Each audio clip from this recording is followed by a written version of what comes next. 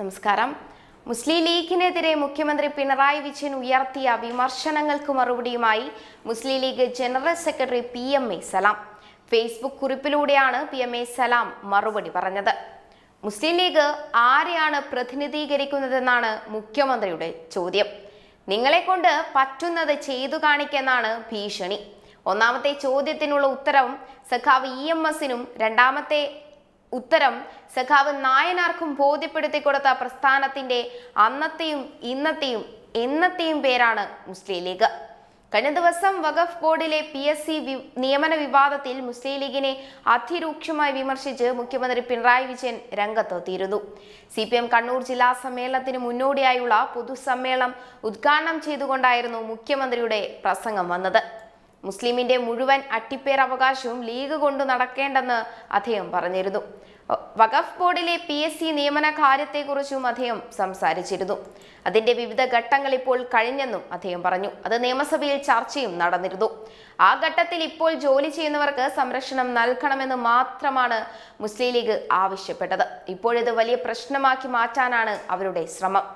മുസ്ലിം league രാഷ്ട്രീയ പാർട്ടിയാണോ മതസംഘടനയാണോ എന്ന് ലീഗുകാർ തന്നെ തീരുമാനിക്കേണ്ടതാണ്.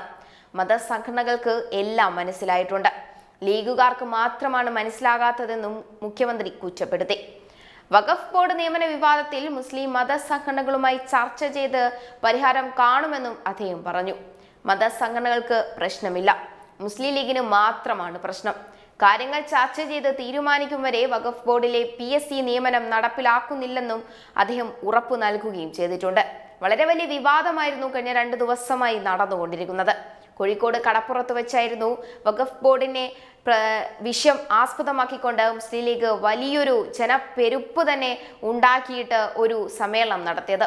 ഇതിൽ വളരെ വലിയ രൂക്ഷ വിമർശനമാണ് മുഖ്യമന്ത്രി പിണറായി വിജയനും അതുപോലെ കേരള സർക്കാരിനും സർക്കാരിനുമെതിരെയും ഉണ്ടായത്. കെ എം ഷാജി അതുപോലെ നിരവധി മുതിർന്ന നേതാക്കൾ മുസ്ലിം ലീഗിലെ നേതാക്കൾ തന്നെ പിണറായി വിജയനെയും അതുപോലെ പിണറായി സർക്കാരിനെയും രൂക്ഷമായി എതിർത്തിരുന്നു. കഴിഞ്ഞ ദിവസമായിരുന്നു വലിയൊരു മറ്റൊരു വിവാദവും ഉണ്ടായത്. മുഹമ്മദ് റിയാസിനെ അടക്കം പറഞ്ഞുകൊണ്ടായിരുന്നു മുസ്ലിം ലീഗിലെ മുതിർന്ന നേതാവ് ഒരു പ്രസംഗം ആരംഭിച്ചത്. അത് വലിയ വളരെ വലിയ വിവാദമാവുകയും രാഷ്ട്രീയ കേരളം തന്നെ അത് ചർച്ച ചെയ്യുകയും ചെയ്തിട്ടുണ്ട്.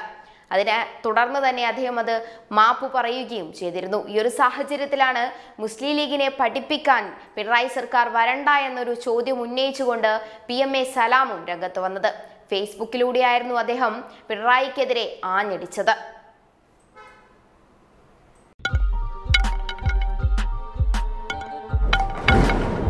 like and subscribe to Channel Kerala. Channel Kerala, a channel by NBC Broadcasting Limited.